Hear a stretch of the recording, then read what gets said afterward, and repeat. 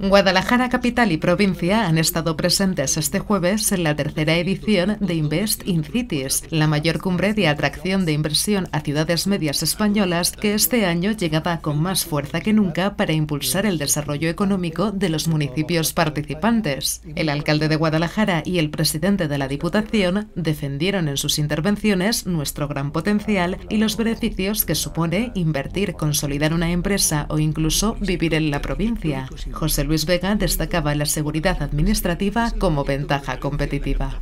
Todos trabajamos a una, todos eh, hay una buena eh, sintonía entre las administraciones, hay una buena sintonía con los agentes sociales y es evidente que esa sintonía hace que la ubicación de las empresas eh, la haga más fácil. Un total de 18 ciudades y municipios han participado en esta edición en la que se han dado cita más de 500 inversores de forma virtual. Todos los representantes coincidieron en apuntar que la inversión es más necesaria que nunca. Será la que permita revitalizar las economías locales tras estos duros meses de pandemia.